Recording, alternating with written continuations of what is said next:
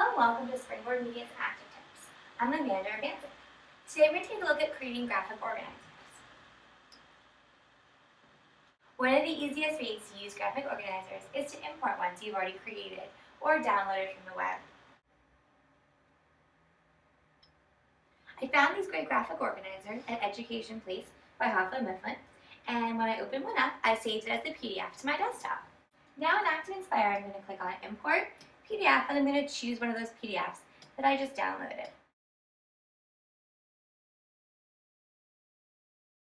It creates it on a new flipchart for me. And this page is its own image, so I can make this page bigger.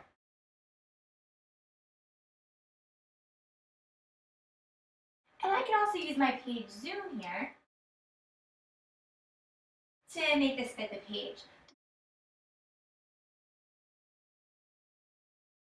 And because we're going to be using this together, I probably don't need the name line, so I'll move it all the way up. One thing about importing PDFs is students are going to be writing on top of this. You want to lock this background image.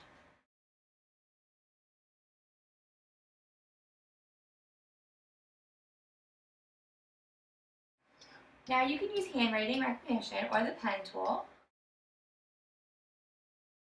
to add information to each of the layers. I can create my own graphic organizers using shapes or using shape recognition. If I do this using shapes, the color you see in this palette is going to be the inside color, and the color you see in this palette is going to be your outside color. So I'm going to make my outside color black and my inside color white.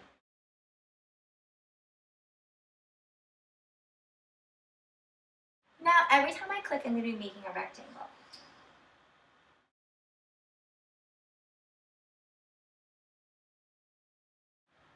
Use the connector tool to connect the rectangles.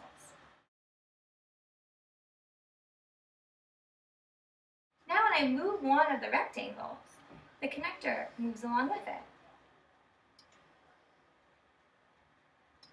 If I've created something on the page that I don't want anymore, and I'm not sitting near my computer, I can click on it and then select the trash can, and I'll get rid of it.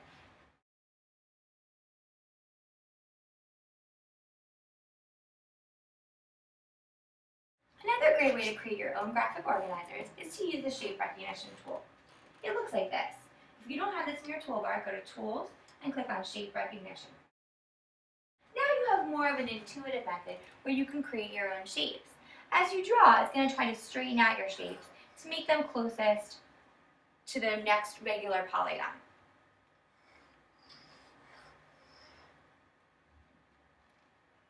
The shapes I create with Shape Creator or shape recognition, excuse me, are editable.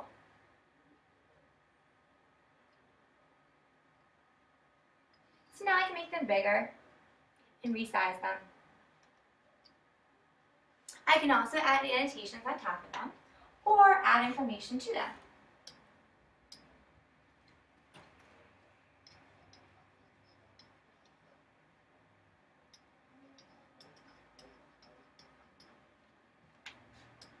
Over here I created a magic box in which a student would select something and take a look at it and decide if they think that's a cause or effect.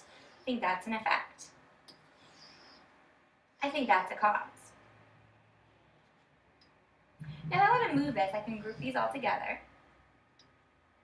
and then move them down so I could have more room. Do these cause, does this cause match this effect? Why or why not? Students could come up and explain why this caused this to happen. One of the great things about creating graphic organizers on your interactive whiteboard instead of on chart paper or on a whiteboard board is that I can just get rid of the annotations and keep the text up there. So the shapes I create with shape recognition are objects.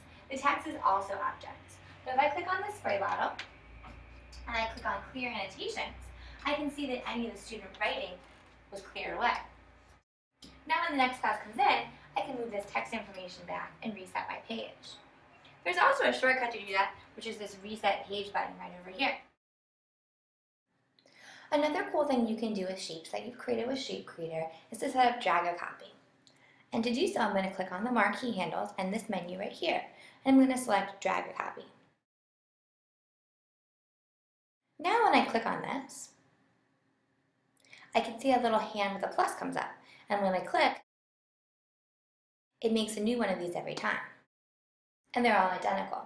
So this is a great way to be able to create a graphic organizer where I can move each one of these around.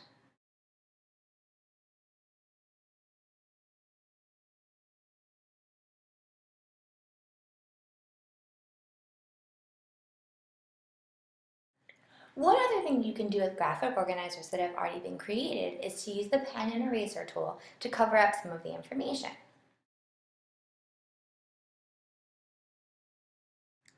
I could then use the text tool to add in that information.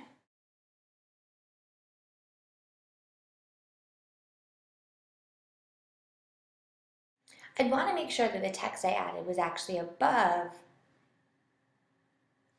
the pen layers. And I did that over here in the object browser. So now I could have a student come over here and bring ant into which category they think it belongs in, and then erase and see if that matches. Nope, it doesn't. So I could have them erase over here and see, oh, ants belong in insects, and they can bring this over here.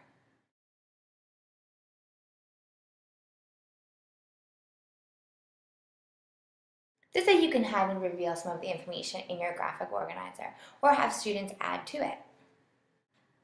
Thanks for watching. I hope you've enjoyed today's ActivTip. Check out our Act 48 accredited professional development programs at our website. Thanks!